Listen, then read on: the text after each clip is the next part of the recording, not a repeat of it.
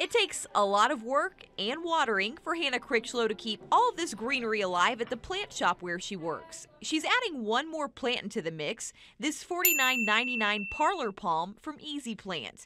The makers say their plants are nearly impossible to kill because of their innovative self-watering pots. These self-watering pots have been kind of trendy lately, so I'm excited to see how it works. This particular tropical plant is one Hannah typically waters once a week. There she is, okay. It's a little parlor palm. But for this test and in this special Easyplant container, Hannah is only filling up the oh. reservoir. That holds a lot more water than I thought it would.